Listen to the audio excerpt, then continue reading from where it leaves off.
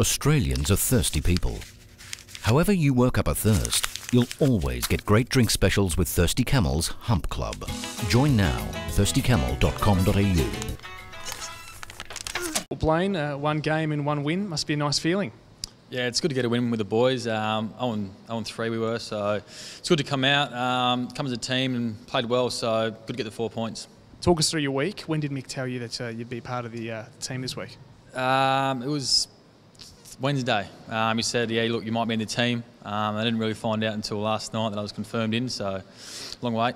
And family came and saw the game, did they? Uh, no, they didn't. Uh, they're a long way from uh, New Zealand, so it would have taken them 15 hours to get here. Let's talk about the game itself. How did you find the tempo?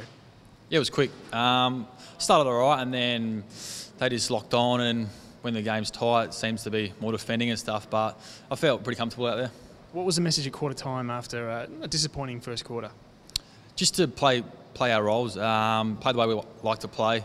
We went away from that, so as soon as we started playing, taking the game on the way we wanted to, we uh, started to go over the top of them.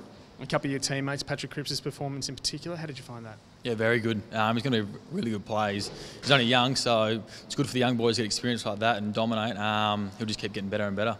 Blaine, what's the, what's the plan for the rest of the weekend now? Travel back tonight? Yeah, travel back tonight, uh, recovery tomorrow, get all the right things done with the body, um, get back to the drawing board. Congratulations. Thanks, guys.